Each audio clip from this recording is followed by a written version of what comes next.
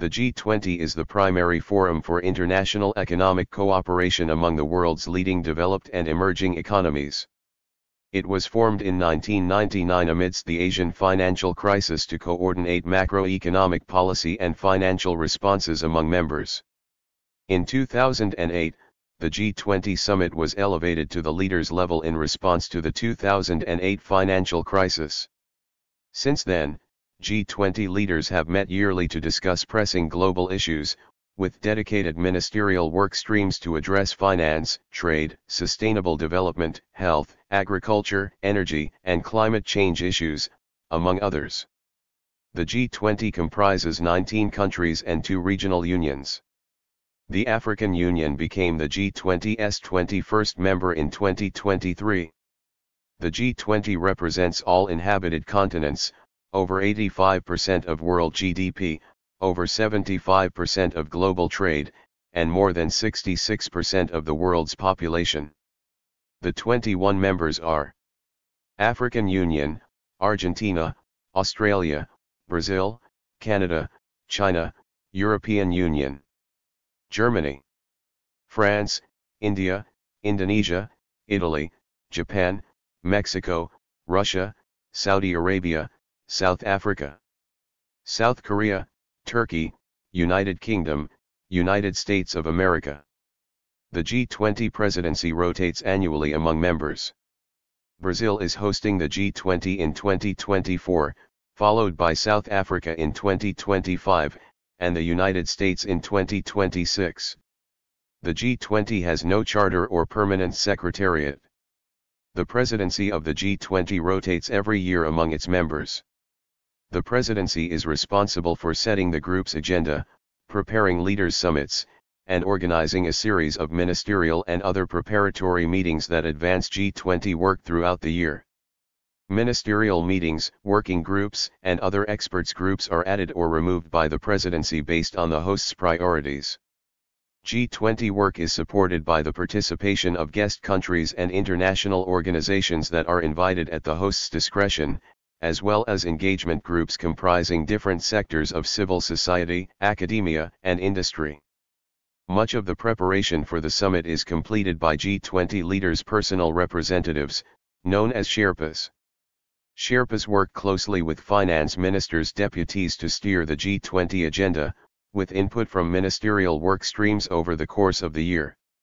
Since 2020, Canada's personal representative to the Prime Minister for the G20 summit, Sherpa, has been Christopher MacLennan. The work of the G20 culminates each cycle in a summit and leaders' declaration, expressing members' commitments and vision for the future.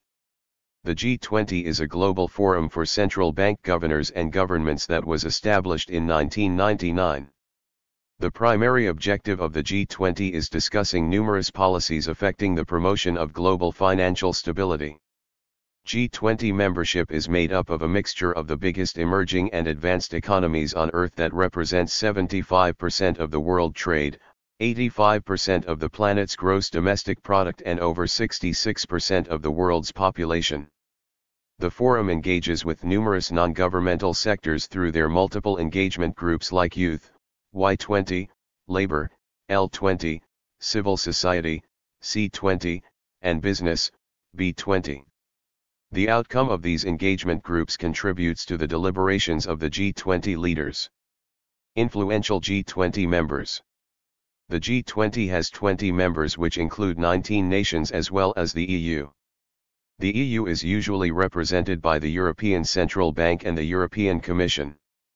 The EU is an economic and political union of 28 member countries which are in Europe. The EU has over 510 million residents and an area of about 1,728,099 sq miles. Their policies promote free movement of capital, services, goods, and people in their internal market. The EU has permanent diplomatic missions and represents itself at the G20, G7, World Trade Organization and the United Nations. Due to its influence, the EU has been described by many as an emerging superpower. The United Kingdom is a developed state with the planet's ninth biggest economy by PPP, purchasing power parity. Its economy ranks fifth by GDP. The United Kingdom was the first industrialized state on Earth and also the first superpower during the 19th and 20th centuries. The US has the second biggest economy by PPP and largest by nominal GDP. It is the founding member of the IMF, International Monetary Fund, and the World Bank among other organizations. China is a key regional power in Asia. China has one of the fastest growing economies in the world with a growth rate of over 6% annually. It is the most populous nation on Earth which occupies an area of over 3.7 million sq miles. It has the biggest economy by PPP and the second by nominal GDP. Which countries have featured as guests in the G20 events? The organization engages numerous non-member nations in their events to ensure that they reflect on global opinion. Some of the permanent invitees include Rwanda as the chair of the African Union, Papua New Guinea as the 2018's host, Senegal, Spain, and Singapore. Some of the nations which attended the 2017 G20 summit include Zimbabwe, Thailand, Switzerland, Myanmar, Mauritania, Laos, Guinea, Colombia, Brunei, and Azerbaijan among others. The G20 or Group of 20 is an intergovernmental forum comprising 19 sovereign countries, the European Union, EU, and the African Union, O. It works to address major issues related to the global economy, such as international financial stability, climate change mitigation and sustainable development. The G20 is composed of most of the world's largest economies' finance ministries, including both industrialist and developing countries, it accounts for around 80% of gross world product, GWP, 75% of international trade, two-thirds of the global population, and 60% of the world's land area. The G20 was founded in 1999 in response to several world economic crises. Since 2008, it has convened at least once a year, with summits involving each member's head of government or state, finance minister or foreign minister, and other high-ranking officials, the EU is represented by the European Commission and the European Central Bank. Other countries, international organizations, and non-governmental organizations are invited to attend the summits, some permanently. In 2023, during its 2023 summit, the African Union joined as its 21st member. In its 2009 summit, the G20 declared itself the primary venue for international economic and financial cooperation. The group's stature has risen during the subsequent decade, and it is recognized by analysts as exercising considerable global influence. It is also criticized for its limited membership, lack of enforcement powers, and for the alleged undermining of existing international institutions. Summits are often met with protests, particularly by anti-globalization groups. The G20 is the latest in a series of post-World War II initiatives aimed at international coordination of economic policy, which include institutions such as the Bretton Woods Twins, the International Monetary Fund and the World Bank, and what is now the World Trade Organization. The G20 was foreshadowed at the Cologne summit of the G7 in June 1999, and formally established at the G7 Finance Ministers meeting on September 26, 1999 with an inaugural meeting on 15 to 16 December 1999 in Berlin. Canadian Finance Minister Paul Martin was chosen as the first chairman and German Finance Minister Hans Eichel hosted the meeting. A 2004 report by Colin I. Bradford and Johannes F. Linn of the Brookings Institution asserted the group was founded primarily at the initiative of Eichel, the concurrent chair of the G7.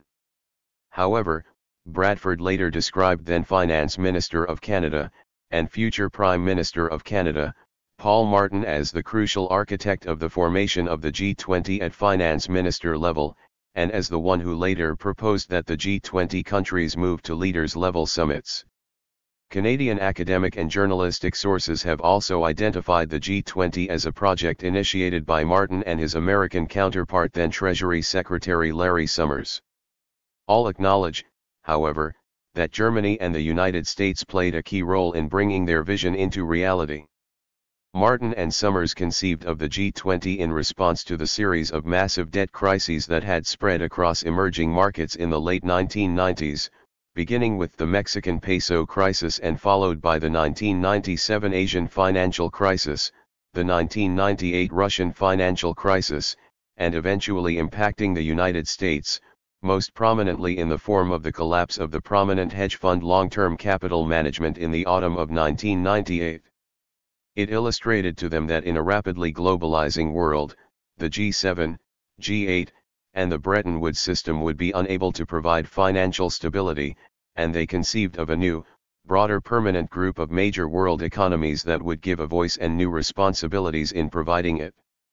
The G20 membership was decided by Eichel's deputy Caio Koch-Weser and Summers's deputy Timothy Geithner. According to the political economist Robert Wade, Geithner and Koch-Weser went down the list of countries saying, Canada in, Portugal out, South Africa in, Nigeria and Egypt out, and so on, they sent their list to the other G7 finance ministries, and the invitations to the first meeting went out the G20's primary focus has been governance of the global economy. Summit themes have varied from year to year. The theme of the 2006 G20 ministerial meeting was Building and Sustaining Prosperity. The issues discussed included domestic reforms to achieve sustained growth, global energy and resource commodity markets, reform of the World Bank and IMF, and the impact of demographic changes. In 2007, South Africa hosted the Secretariat with Trevor A. Manuel, South African Minister of Finance as chairperson of the G20. In 2008, Guido Mantega, Brazil's Minister of Finance, was the G20 chairperson and proposed dialogue on competition in financial markets, clean energy, economic development, and fiscal elements of growth and development. On October 11, 2008 after a meeting of G8 finance ministers, U.S. President George W. Bush stated that the next meeting of the G20 would be important in finding solutions to the burgeoning economic crisis of 2008. The summit of G20 finance ministers and central bank governors, who prepare the Leaders' Summit and implement their decisions, was created as a response both to the financial crisis of 2007 to 2008 and to a growing recognition that key emerging countries were not adequately included in the core of global economic discussion and governance. Additionally, G20 summits of heads of state or government were held. After the 2008 debut summit in Washington, D.C., G20 leaders met twice a year, in London and Pittsburgh in 2009, and in Toronto and Seoul in 2010. Since 2011, when France chaired and hosted the G20, the summits have been held only once a year. The 2016 summit was held in Hangzhou, China, the 2017 summit was held in Hamburg, Germany, the 2018 summit was held in Buenos Aires, Argentina, the 2019 summit was held in Osaka, Japan, the 2020 summit was scheduled in Riyadh, Saudi Arabia but it was held virtually due to COVID-19, the 2021 summit was held in Rome, Italy, the 2022 summit was held in Bali, Indonesia, and the 2023 summit was held in New Delhi, India.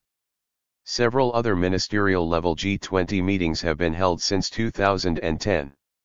Agriculture ministerial meetings were conducted in 2011 and 2012, meetings of foreign ministers were held in 2012 and 2013, trade ministers met in 2012 and 2014, and employment ministerial meetings have taken place annually since 2010.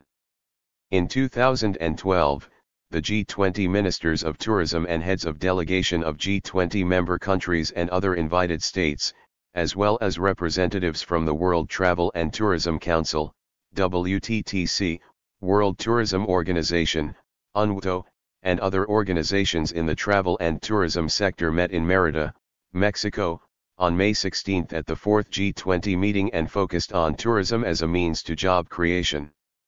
As a result of this meeting and the World Travel and Tourism Council's Visa Impact Research, later on the leaders of the G20, convened in Los Cabos on 18 to 19 June, would recognize the impact of travel and tourism for the first time.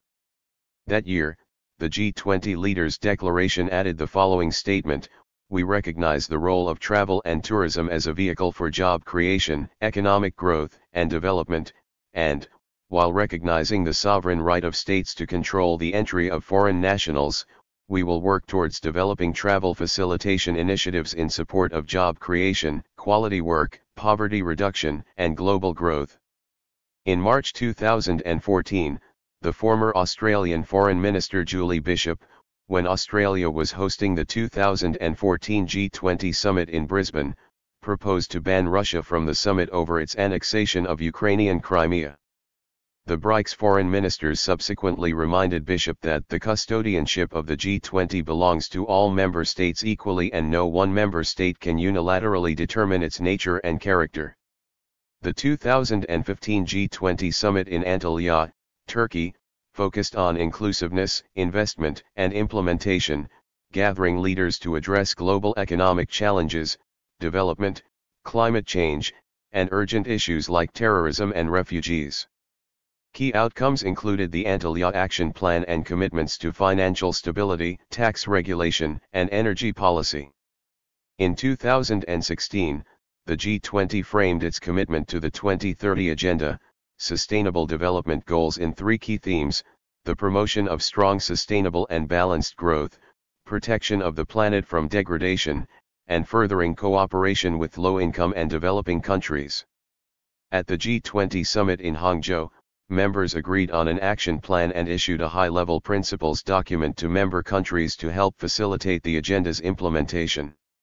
Japan hosted the 2019 summit, the 2020 summit was to be held in Saudi Arabia, but was instead held virtually on 21 to 22 November 2020 due to the COVID-19 pandemic under the presidency of Saudi Arabia.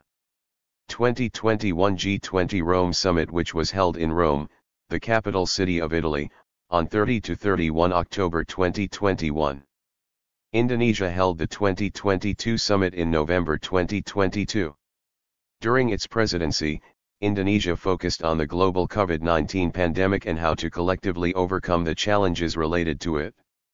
The three priorities of Indonesia's G20 presidency were global health architecture, digital transformations, and sustainable energy transitions.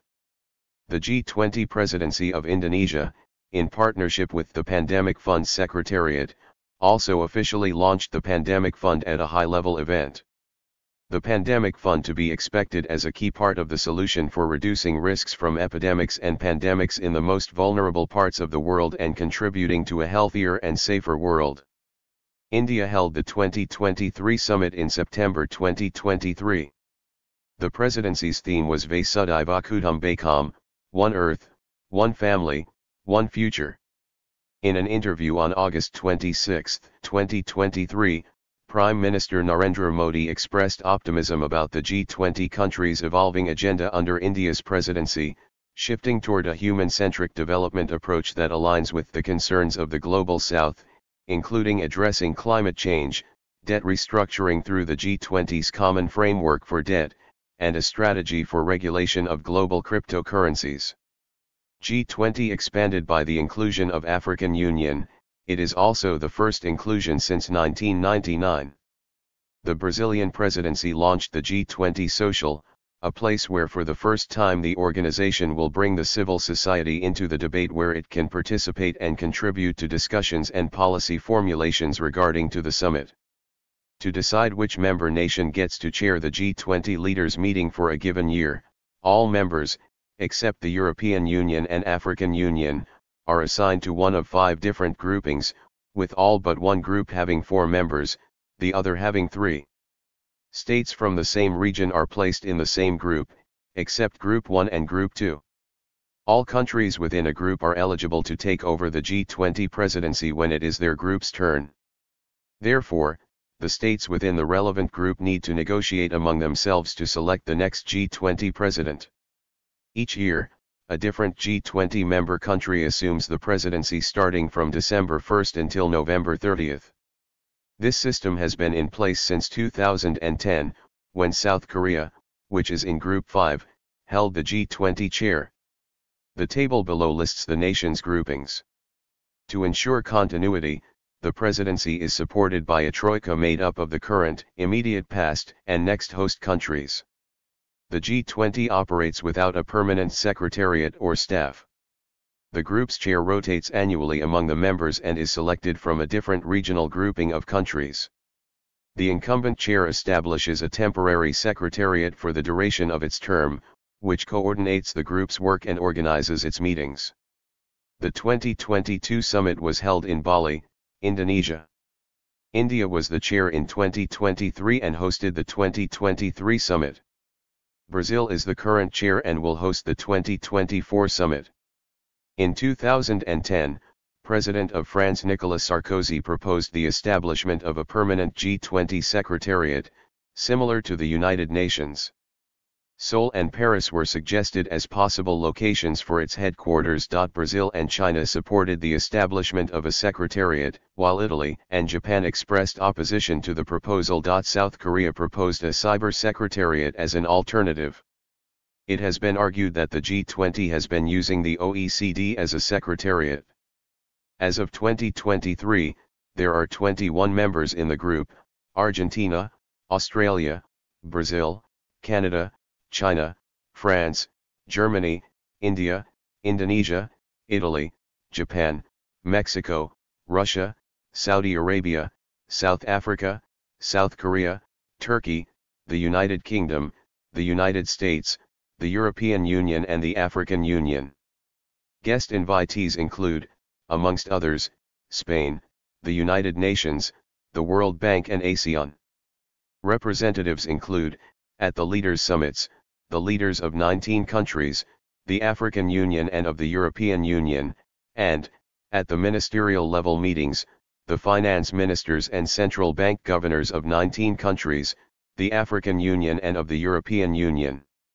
In addition, each year, the G20's guests include Spain, the chair of ASEAN, a representative of the new Partnership for Africa's Development, NEPAD, and a country, sometimes more than one, invited by the presidency, usually from its own region.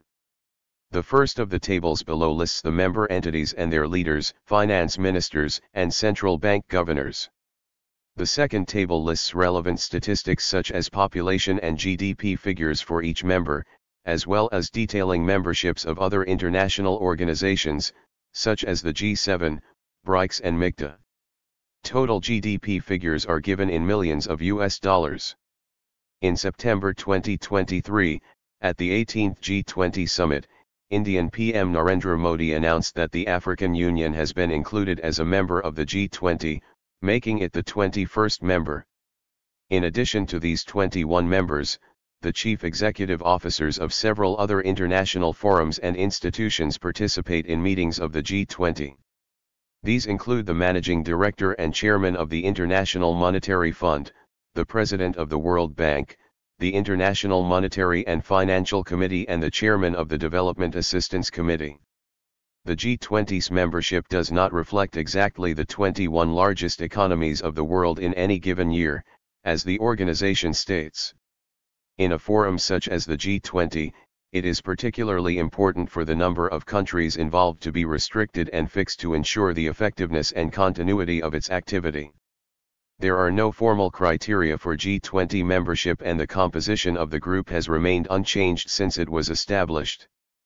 Because of the objectives of the G20, it was considered important that countries and regions of systemic significance for the international financial system be included.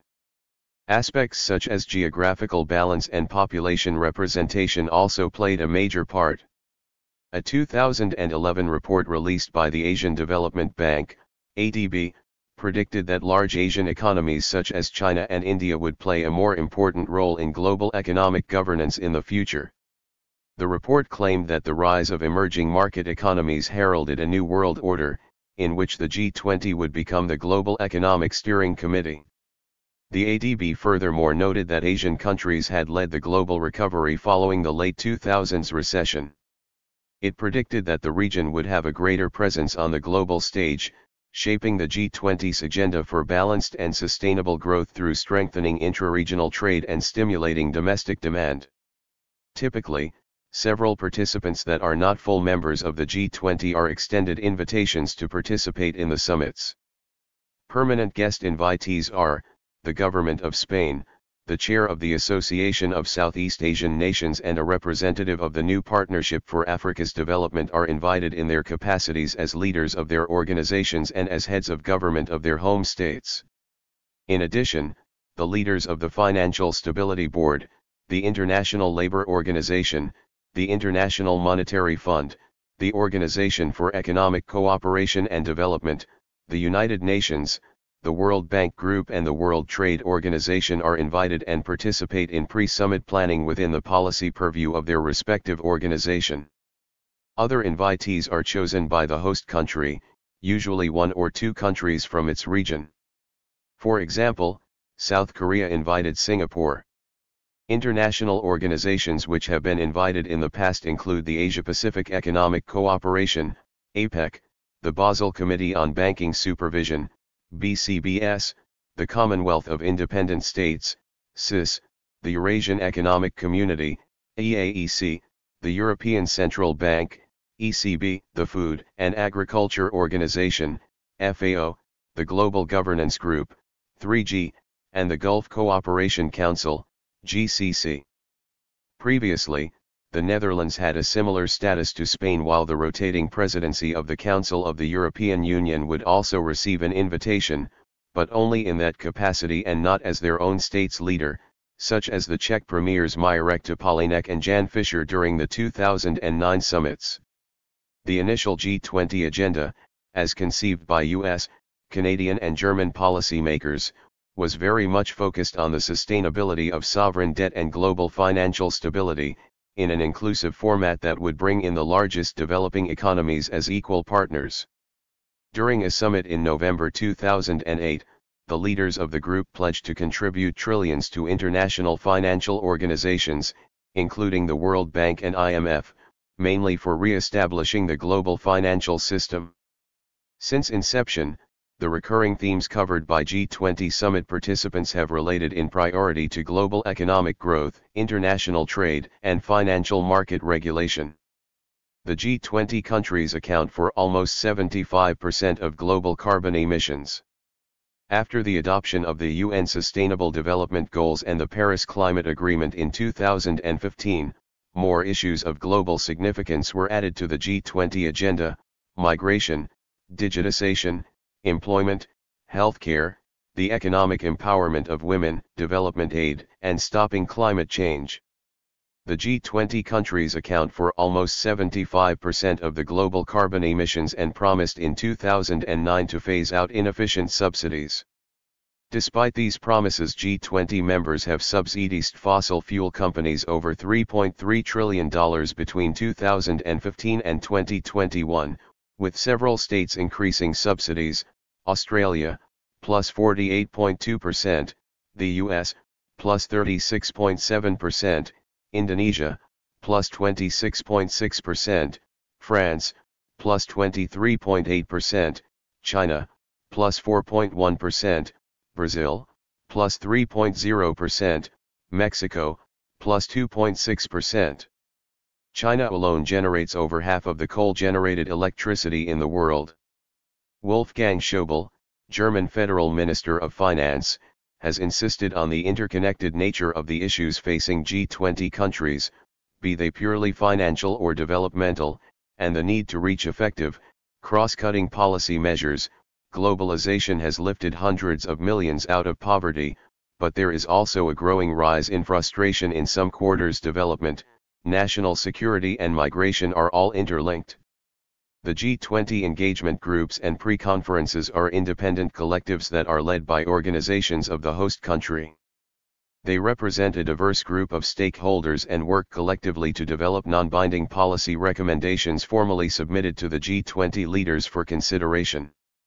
For the 2022 G20 hosted by Indonesia, there are 10 engagement groups formed to facilitate independent stakeholders in developing proposals and policy recommendations for G20 leaders. Startup 20 and other few engagement groups initiated under the G20 India presidency of 2023. The G20's prominent membership gives it a strong input on global policy despite lacking any formal ability to enforce rules.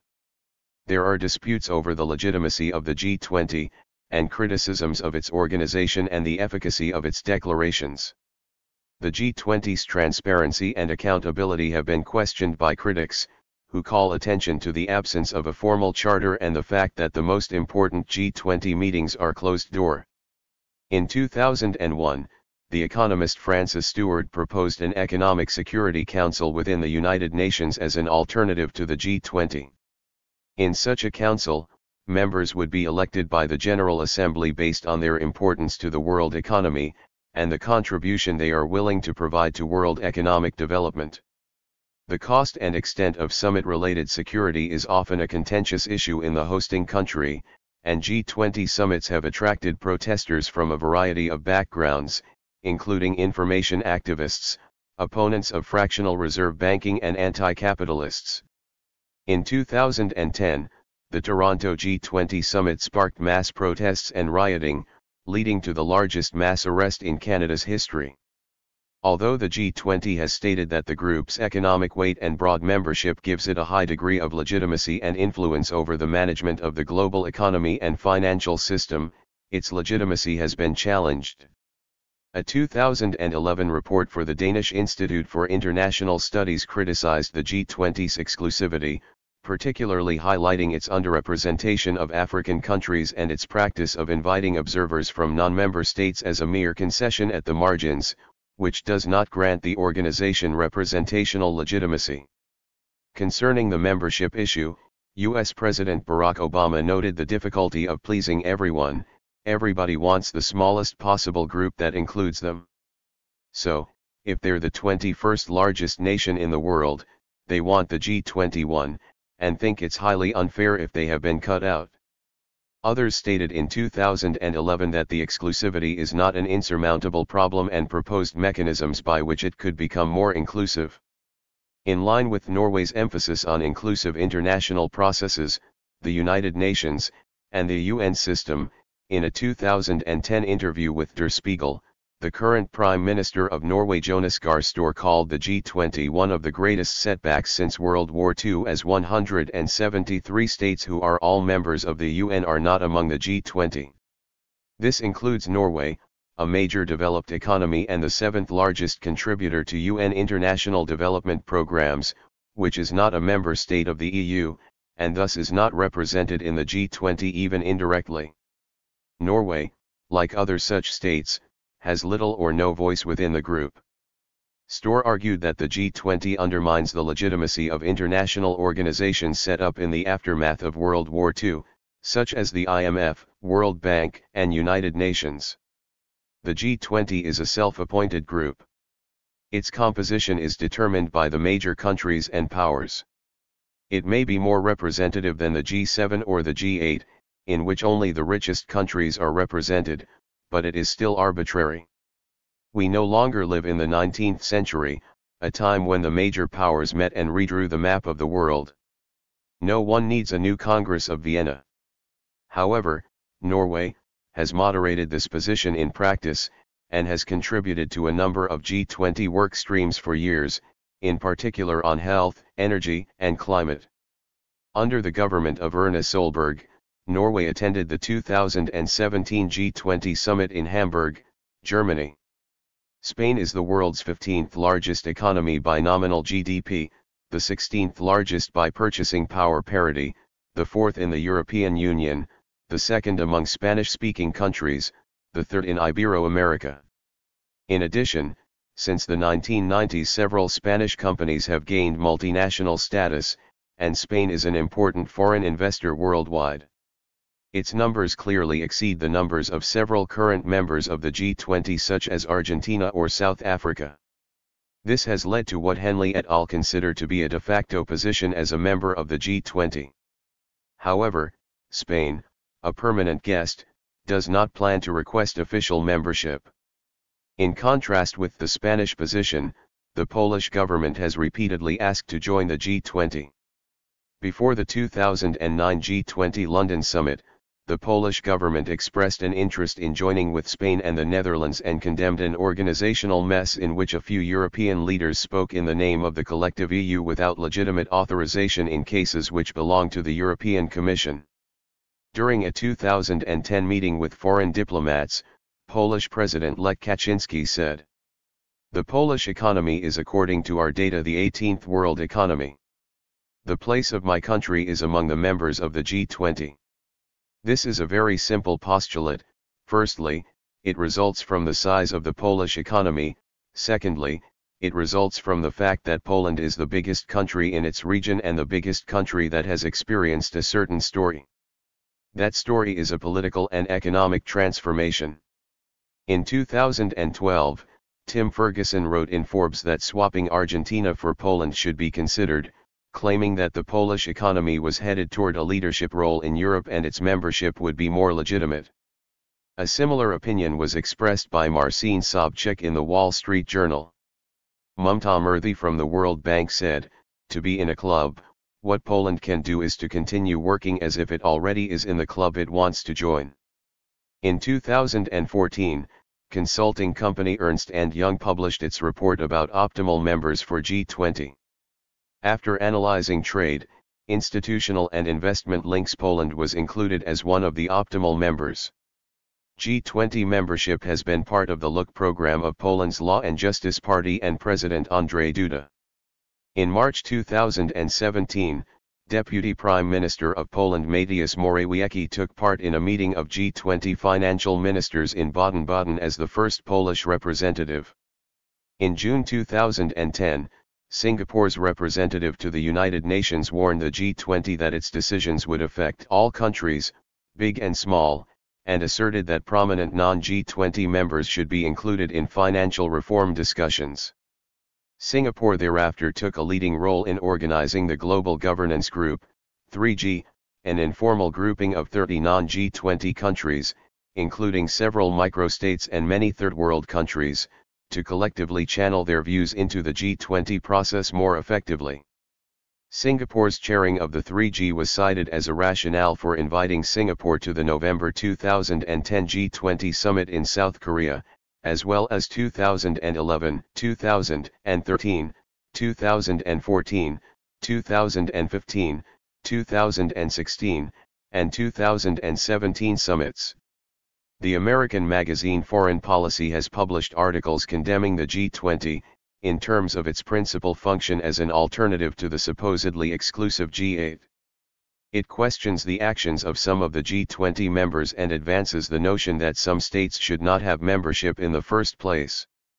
Furthermore, with the effects of the Great Recession still ongoing, the magazine has criticized the G20's efforts to implement reforms of the world's financial institutions, branding such efforts as failures. In March 2022, following the Russian invasion of Ukraine, U.S. President Joe Biden called for the removal of Russia from the group. Alternatively, he suggested that Ukraine be allowed to attend the G20 2022 summit, despite its lack of membership. Canadian Prime Minister Justin Trudeau also said the group should re-evaluate Russia's participation. Russia claims it would not be a significant issue, as most G20 members are already fighting Russia economically due to the war. China suggested that expelling Russia would be counterproductive. In November 2022, Indonesia and Russia stated that Vladimir Putin would not attend the G20 summit in person, but may attend virtually. During the 2022 summit, Ukrainian President Volodymyr Zelensky appeared in a video statement and repeatedly addressed the assembly as the G19 as a means of indicating his viewpoint that Russia should be removed from the group. Thank you for watching this video.